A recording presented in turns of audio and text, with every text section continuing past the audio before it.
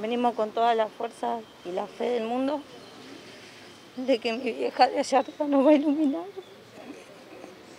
y de que nos va a ayudar para que esto se haga justicia y que este maldito que acaba de bajar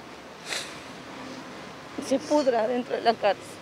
Tiene la cara de fierro y así como se rió en mi cara cuando yo buscaba a mi mamá, con esa cara de frialdad yo sé que también lo va a hacer ahí adentro.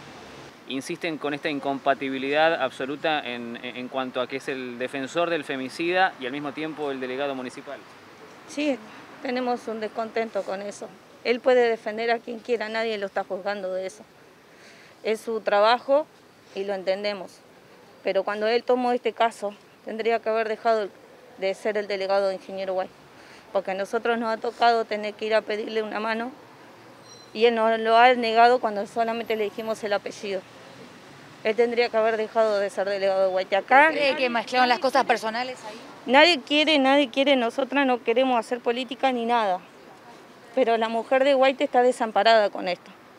La mujer que sufre violencia de género de Guaite está desamparada.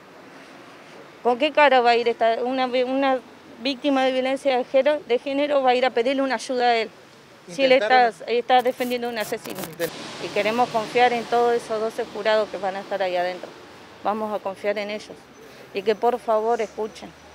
Escuchen cada cosa que van a escuchar, que se va a leer, los audios que van a pasar. Queremos confiar en la justicia. Tenemos fe en la justicia. ¿Hay más miedo o hay más esperanza a esta altura? Ambas cosas. Porque sabemos que si él llega a quedar en libertad, todas nosotras estamos en riesgo. Porque es una capaz de volver a hacerlo? Sí. Es una persona violenta, yo sé que va a atacar contra todas nosotras. Porque ella lo hacía con mi mamá.